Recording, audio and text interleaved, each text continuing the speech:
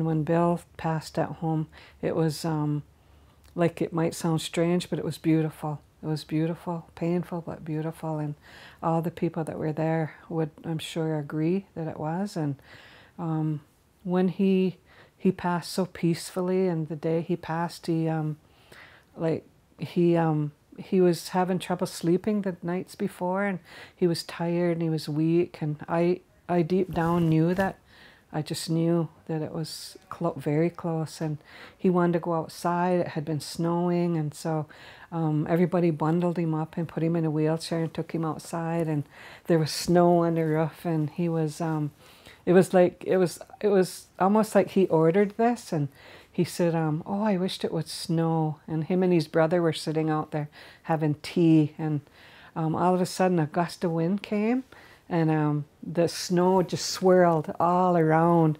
And he put his hands up and he was just smiling you know. We have pictures of them outside and it was so beautiful. And he just he was just like so beautiful.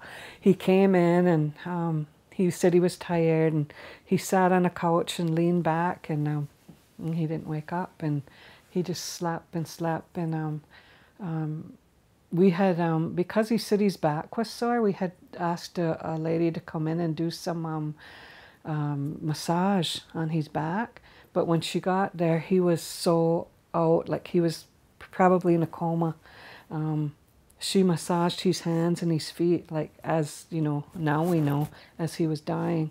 So that softness and that gentleness was, um, he, you know, as he was passing away that I thought that was beautiful. Like all these things happened that just was meant to happen. And um, um, before he went to sleep, he said, um, "I want Christmas lights up," you know. So his niece brought Christmas lights and put those up. Um, and then um, people just started coming in, and um, um, his brother, two of his brothers were there, and they were very softly playing bluegrass music.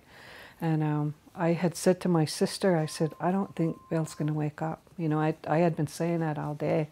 And uh, so finally, I think it was about nine o'clock, she said, I don't think he is either. So we had called a couple people. So more his family came and um, some of his friends, and they played bluegrass uh, music while Bill was like fading and um, it was so it was so beautiful. And um, then my sister and her daughters came and they sang some uh, hand drum songs to him, and so it was like probably everything he wanted, you know, everything he wanted. And then um, my son-in-law brought my middle grandson, the one that's so close to him, and um, like he he laid on Bill and he was hugging him and he was saying Papa and and Bill had tears coming down. He hadn't spoken in hours. He was like in a coma, and he just had tears coming down his face. And it was like,